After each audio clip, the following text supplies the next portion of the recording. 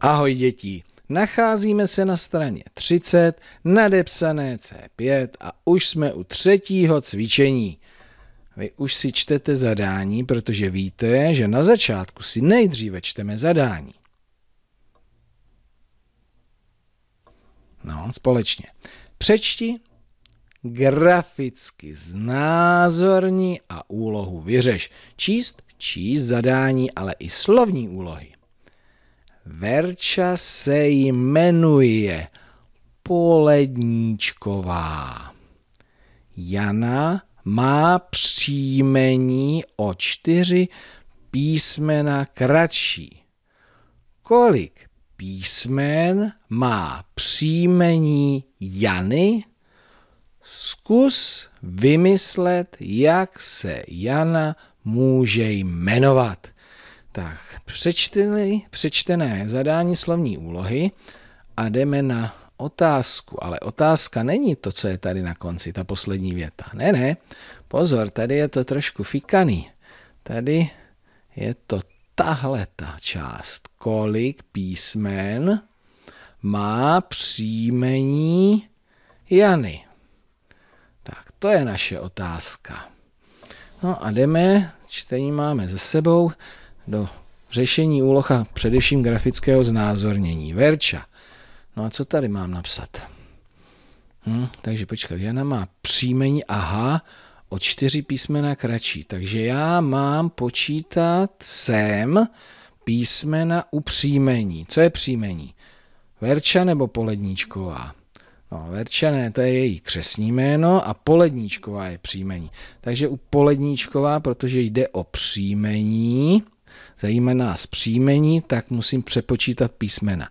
1, 2, 3, 4, 5, 6, 7, 8, 9, 10, 11, 12. Takže Verčino příjmení má 12 písmen a hned to graficky znázorním.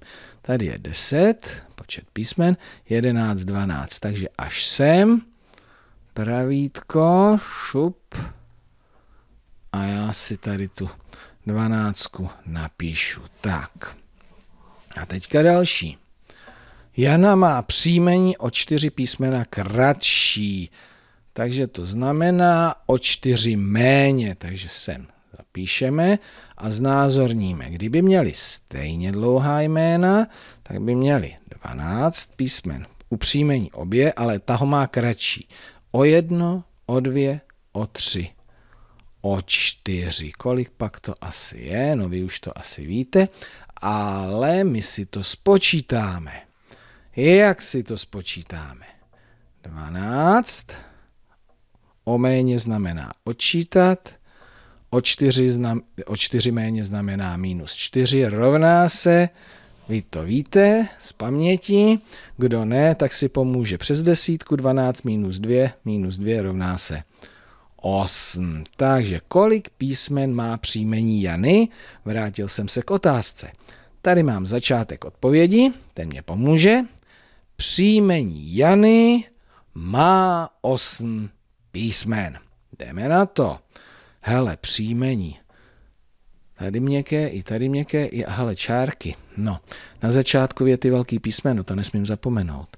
Takže od druhé pomocné linky.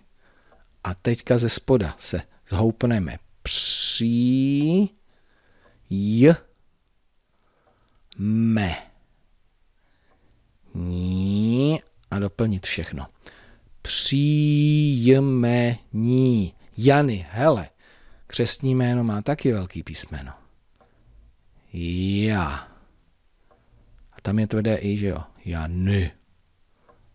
Ne Jani. Jany má, další slovo je krátké, ale s čárkou, má osm, a jak se píše slovo písmen?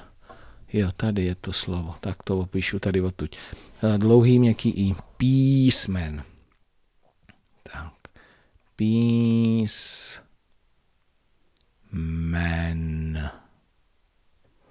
Písmen. A na konci věty šup, tečku tam. Tak, mám hotovo, řešeníčko, řešení. Hele, oni tady psali ještě 12 písmen do zápisu. No, mně by se to sem teda nena, nevešlo. Kdyby jsme to psali do sešitu, možná, ale ten zápis by měl být co nejstručnější, takže tohle bych klidně i doporučoval fakt vynechat. A tady, tady určitě se vám to nevejde.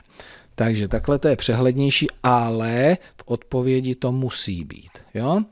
Příklad máme spočítaný i graficky, dokonce my tady máme ještě označený. Jo, hele, tady mě chybí osmička. Tak, aby to bylo přehlednější. Dobře, slovní úlohu jsme vyřešili. No a teďka ono tady ještě, že jo, ještě to pokračuje.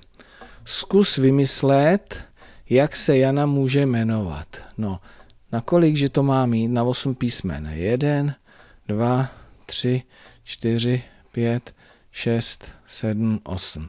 Takže kdyby se Jana jmenovala Nová, Nová, tak to by bylo na čtyři písmena, to je blbý. Ale napadá mě. Ne nová, ale no, vá, ko, vá. To už splňuje, že příjmení má osm písmen. Tak, to byla moje nápověda, ale vy určitě najdete další příjmení ženská, dívčí, která mají osm písmen.